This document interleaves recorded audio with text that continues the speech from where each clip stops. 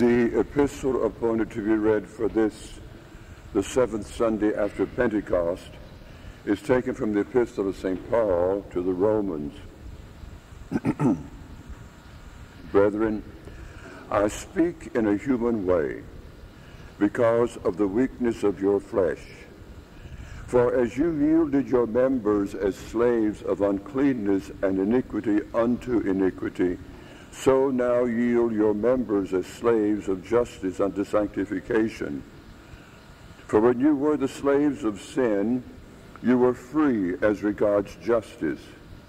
But what fruit had you then from those things of which you are now ashamed? For the end of these things is death.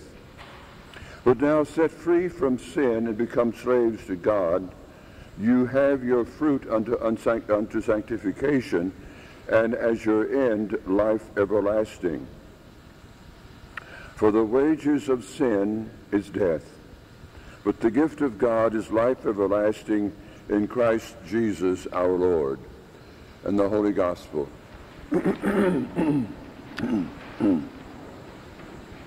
is taken from St. Matthew in the name of the Father and of the Son and of the Holy Ghost. Amen. At that time, Jesus said to his disciples, Beware of false prophets who come to you in sheep's clothing, but inwardly are ravenous wolves. By their fruits you will know them. Do men gather grapes from thorns or figs from thistles? Even so, every good tree bears good fruit, but the bad tree bears bad fruit. A good tree cannot bear bad fruit, nor can a bad tree bear good fruit. Every tree that does not bear good fruit is cut down and thrown into the fire. Therefore, by their fruits you will know them. Not everyone who says to me, Lord, Lord, shall enter the kingdom of heaven, but he who does the will of my Father in heaven shall enter the kingdom of heaven. Thus for this Sunday's Holy Gospel.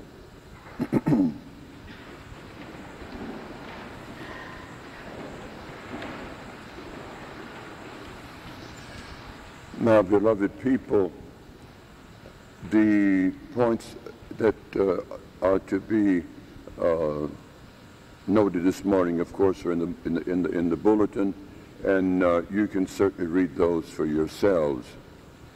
However, I always in, wish to emphasize uh, the importance and the necessity of reading our bulletins, not just simply reading through our bulletins, but studying our bulletins.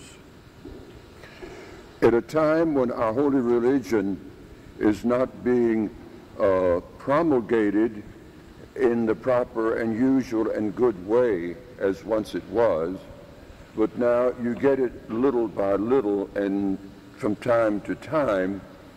We try to put our religion as best we can in our bulletins. Therefore, it is imperative that you not just read the bulletins, but that you study the bulletin carefully by reading it over time and time again. Look for that in the bulletin. Uh, understand what I'm saying. Look for that in the bulletin which is not actually printed in the bulletin. Read between the lines. Look for what is not being said. That is what you have to know. So please study your bulletins, especially during these days that we are putting things, or placing things in the bulletin that are so important for our holy faith. In the name of the Father and Son Holy Ghost, Amen. My beloved people, The title of today's bulletin in, uh, uh, instruction says this You know not of what spirit you are. And as we read the very last lines of today's gospel, these are terrifying lines, and lines that words, rather, from our blessed Lord's mouth itself, that are giving us fair warning, which we, no matter who we are, me beginning, remember this, that when I speak to you, I am looking at me it's almost an examination of conscience on my part when I speak to you. So do not think that I point uh, fire and brimstone to you. You just happen to be in the way when I am speaking to myself. In the last words of today's gospel, our Lord said this. Please listen. Not everyone who says to me, Lord, Lord, shall enter the kingdom of heaven. But he who does the will of my Father in heaven shall enter the kingdom of heaven.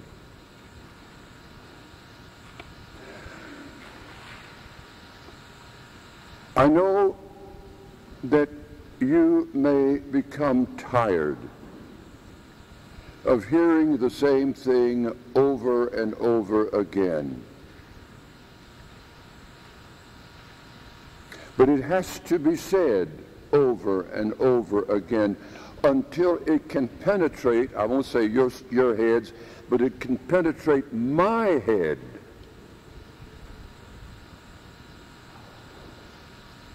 Of all the people who are around and about us.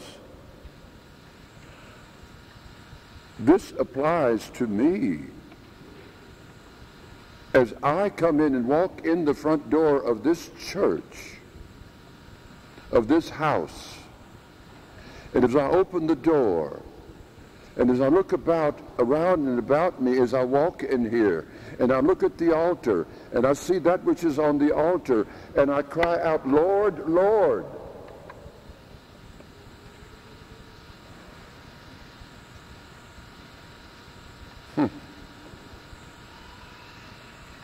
Does that make me worthy of the kingdom of God? Anybody, anybody at all, man, woman, or child, priest, pope, anybody, king, janitor, anybody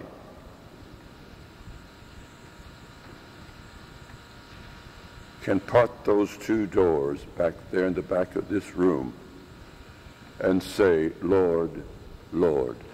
In two weeks, my beloved people, we're going to come to my favorite gospel. Two men went up to the temple to pray. And you know how that strikes me every time it comes around, every year.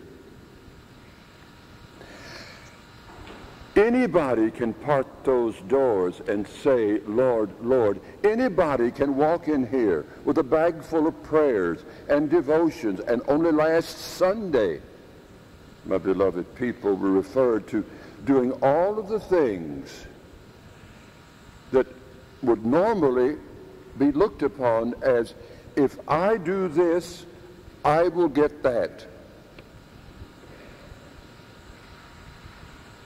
Do I come into this church and simply say, Lord, Lord, simply because I am striking a bargain? And if I do so and so, then I expect so and so back in return. That is not the case.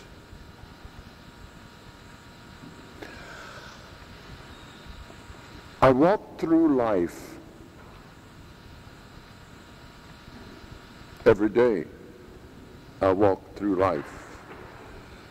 From the moment I get up to the moment I go back to bed at night, I walk through the day. And I run into every imaginable kind of circumstance during the course of that day. It's, the, the, the list is unending as to the circumstances that I can run into all during that day. What are my motives? What are my motive? What, what is the motivating principle? The motivating principle that motivates me, that moves me as I come face to face with each of those countless circumstances that come to my attention day after day after day. I can be motivated by hate. Hate is a powerful motivating principle. I can be motivated by money. I can be motivated by power.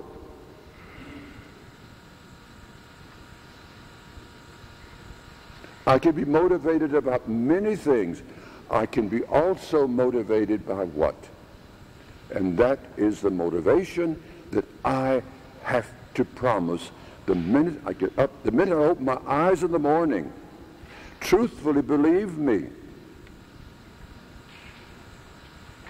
The minute I open my eyes in the morning, the motivation of love. If throughout the day, if throughout this present day, anything, whatever, any action, whatever, any circumstance, whatever, that I may be confronted with this day, no matter, persons, places, or things. If what I do, uh, if my reaction, if my reaction to that person, or to that place or to that thing is not motivated by love, then whatever I do is waste. Now, please, again and again, I remind you when I use the word love, because, you know, the, the, the, the he-men look upon that word as being effeminate, as being weird, as being unmanly. Can anyone question the manhood of Jesus Christ himself alone?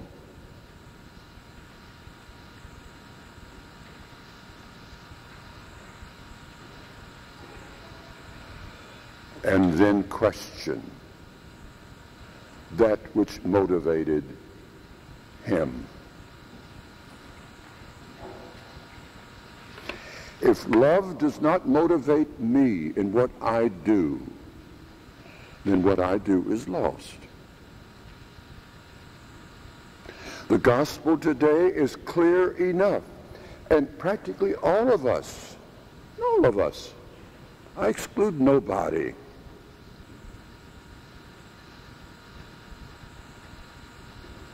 have our devotions. We have our prayers. We have our works during the day. I, am confining this only to devotions and prayers. I'm not speaking of the work that you have to do. We all have to work. We all have to go get up in the morning. We all have to go earn the bread that we eat by the sweat of our brow. We know that. That's taken for granted. We understand that.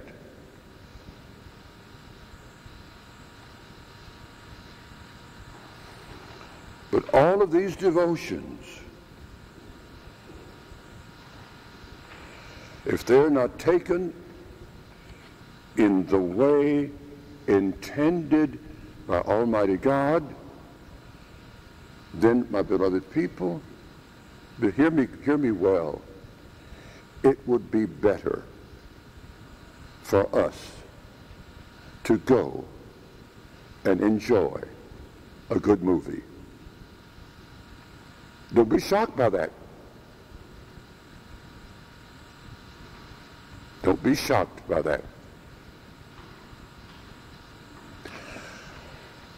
Our Lord said, not everyone who says, Lord, Lord.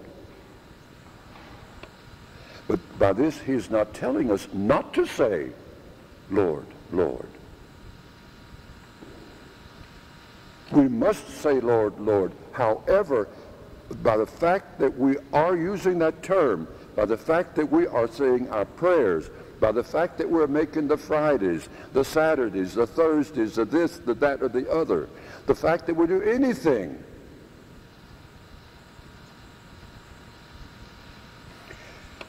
if that Lord, Lord does not come from my interior heart, from the very bottom of my heart, then let's go look at the movie. That's how serious it is. That's how important it is. And that's how often we fool ourselves. And we go and we go into that place where we keep um, our devotions, our prayer books, our missals, our this or that or the other, and we pick up our missal, we pick up our prayer books, and we pick up our holy cards, and we read all of those wonderful, beautiful prayers, and it's just like putting on beautiful clothes. Oh, how wonderful this, this, this fur coat feels. I feel so comfortable. It's so lovely. I love to touch it. It makes me feel so good.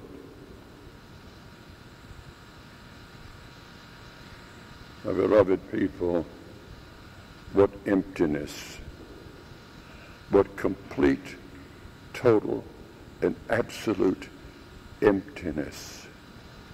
How often have you heard me say or ask the question, why do you come here? And I, I, I bring that question to its conclusion because, as I said, I'm talking to me. Why am I here right now speaking to you? What motivates me? I could be out on the beach. I could be out swimming. I could be out boating. I could be out doing a thousand different things. Pleasant indeed to be done. But why am I here?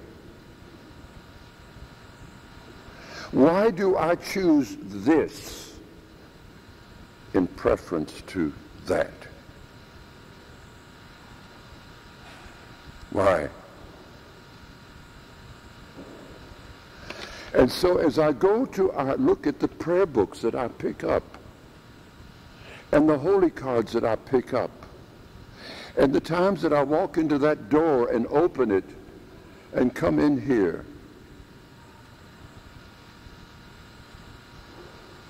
That's what I have to examine. Our young men, and I speak for all of us, our young monks, our young nuns, You know, we say our office in Latin, do we not?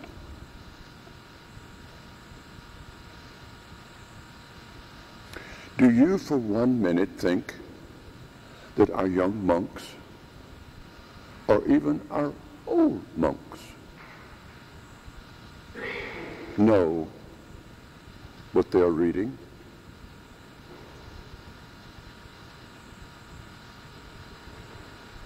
Do you think for one second that we are Latin scholars?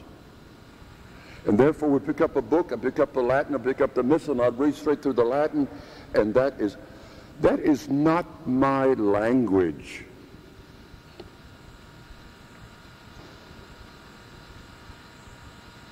And so our young monks sometimes are tempted to ask the question, and sometimes they go beyond their temptations. And they verbalize, vocalize their questions, sometimes rather stoutly. Why do you make us come to this church and pray in a language we simply do not understand? We have the foggiest notion of what we are saying. Is that not a waste of time completely?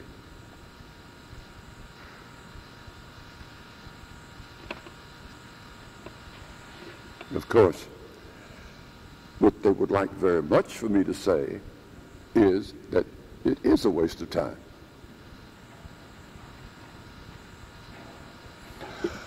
The very fact, the very fact, my beloved people, that these young men and young ladies, young women, the very fact that you, the fact that I, park that door, whether it's the front door or the back door, and come in here and sit down and speak in an unknown tongue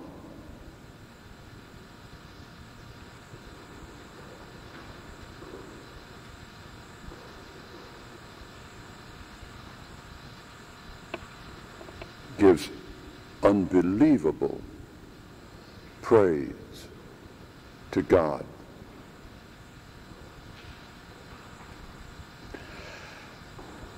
And outside of that, what else is there for me to do? Did you hear that? What else is there for me to do? My one purpose in this life has to be to give praise to him, to honor him. And it is because I love him that I love him intensely, far from what it should be, believe me. Don't misunderstand me when I speak. Take me at my at, face value.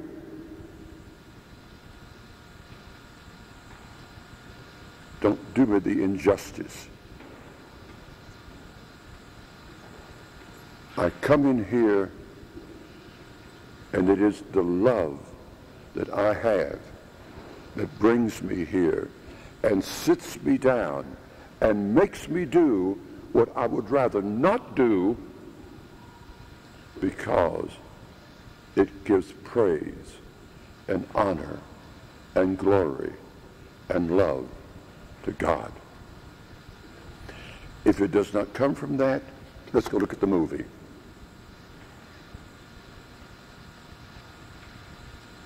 I mean that. And it has to be your faith.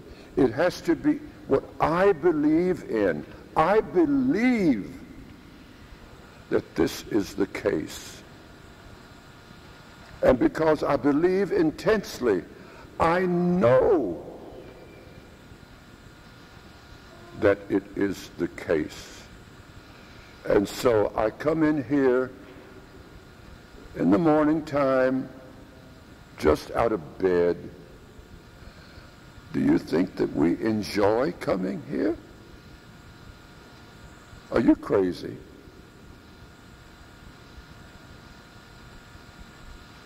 And we come in here and we pick up a book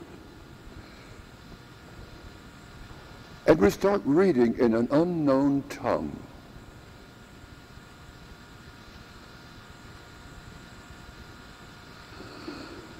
And it weren't for the fact that I realized from the pits of my heart that that's what is giving pleasure to him who made me,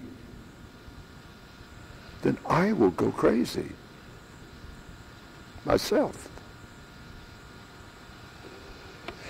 And when you come in here, no, you're not reading in an unknown tongue. But you have your books and your cards and your this and your that and the other. When you come in here, you have to come in here for all the right reasons. And the fact that I come in here in the drowsiness of the morning and do this, that, and the other as required, and I walk up to the altar and say my Mass, do you think that I float on a cloud as I approach that altar? Indeed not. I put step by step. And it hurts. Because Jesus Christ himself put step by step.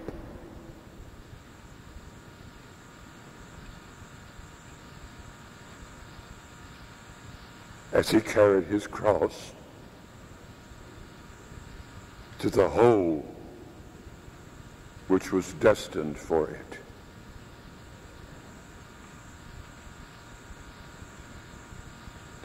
And my interior life has to correspond as much as it is humanly possible for me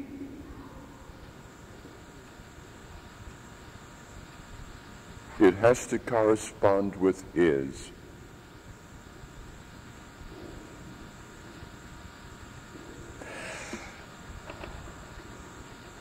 And when he looked up and out, while he was hanging on that cross and cried out aloud, Lord, forgive them, for they don't know what they're doing. My beloved people, as you hang on your cross,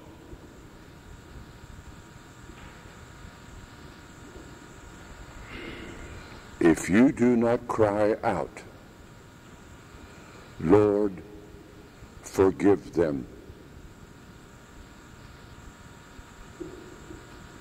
For they know not what they do. It doesn't matter how many times you say, Lord, Lord. Trash it. It means nothing. Lord, forgive them. You do not know of what spirit you are. And when I say Lord, Lord, it means that I have to my interior self in conformity with his interior self in everything I do. I must investigate every word I say. How many times do we take somebody, anybody, anybody at all? How many times do we take that somebody and tear that somebody apart by our holy, prayerful, beautiful, tongues. The tongue is the only wedged instrument that grows sharper by constant use.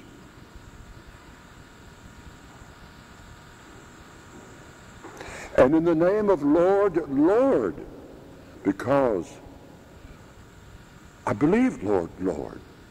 And in that name, I take this person or that person or the other person and tear them apart with the sweetness that flows from my sweet heart.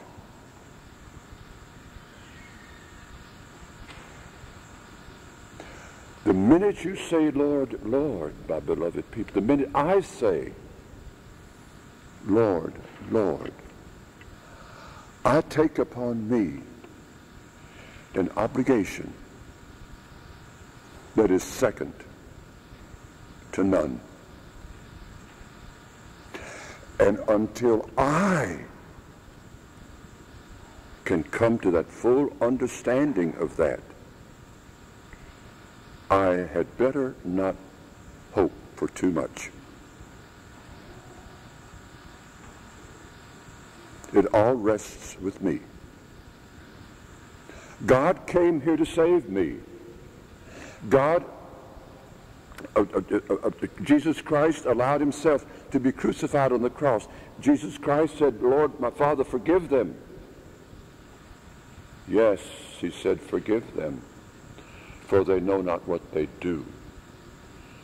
But that presupposes, my beloved people, it presupposes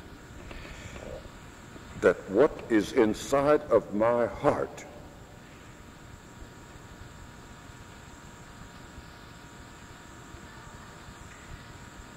what is inside of my heart is worthy of forgiveness. That what is inside of my heart seeks forgiveness. That what is inside of my heart works for forgiveness. And that I don't go lollygagging around through life enjoying fun and frolic and everything, entertainment, making money, making power, making this, making that, all that. On the one side, on the other side, I say, Lord, Lord, forgive me. That doesn't make sense. does it? That doesn't make sense at all. My beloved people, yes, we all, you especially, you have to go about your work. That's obvious. You have to earn your living. That's obvious. You have to earn your bread. That's obvious. Earning your living if you know how to earn your living, and if you live according to what you know, what I know, what we all know we're supposed to be doing, earning my living will not interfere, whatever, with the salvation of my soul. Our blessed Lord himself had to earn his living, did he not? Our blessed Lord himself, the second person of the Blessed Trinity, God Almighty himself, creator,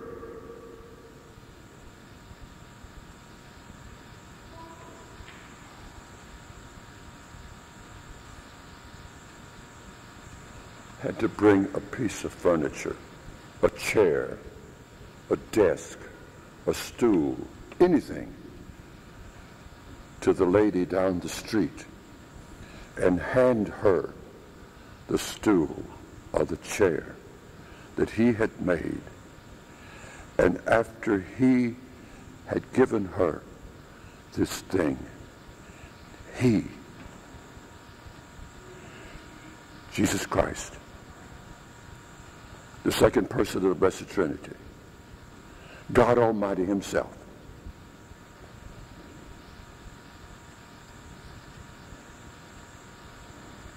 had to hold out his hand and beg for payment.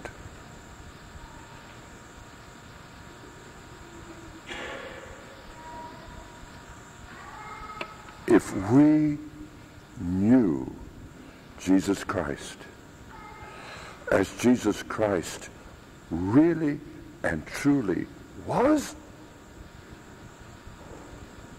you would be up here preaching, not me.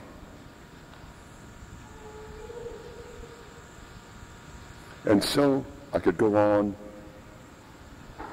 I tell the angels to help me. Sometimes they don't know when to quit. Don't blame me, blame the angels. My beloved people, It's as serious as that, and I have to quit, of course. I don't mean to be carping, but we're living in an age when hell is a popping. It's popping every place. And it pops also, even with the best of my int- intentions, it's popping in my own heart all day long. And I have to fight hell all day long. Not with the old go away, you're all right. No, sir. I have to fight hell with the force that is stronger than all the walking armies that have ever walked the face of this earth. I have to fight hell with that kind of strength. And the minute I think that I am safe, the minute I can uh, think that I can run to my devotion and pick up my book out of, a, out, of wherever it is and think that that book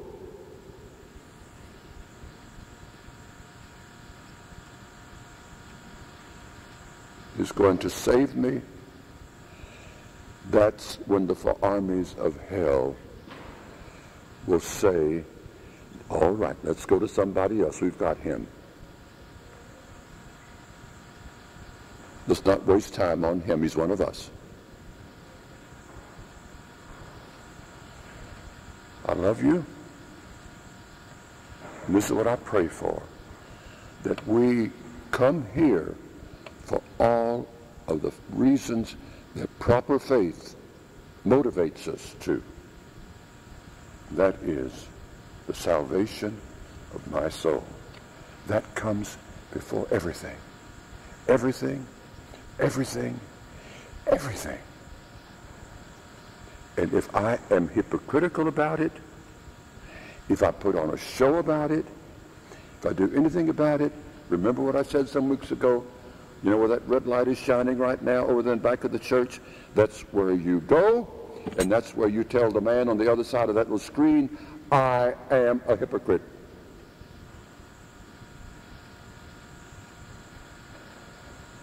Forgive me. It is only when we face Jesus Christ who sees our inmost thoughts and soul and being. That's who we are facing. And when we say these things, we are telling him, not the man on the other side of the screen, because he's a man just like we are. But we're telling Jesus, we're telling God Almighty. We think we are, are uh, deceiving him. We think we are fooling him as we walk out and go to our eternal damnation by walking past this place here or that place there or the other place there, and we have to walk in simply because some little voice inside of me said, go in and take a sweet little look at that beautiful little picture on the wall. It's not going to hurt you. What can a picture do for you? What can an apple do for you?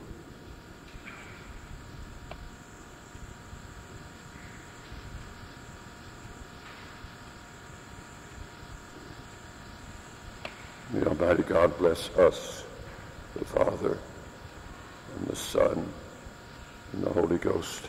Amen. And may this blessing be with us forever and ever. Amen.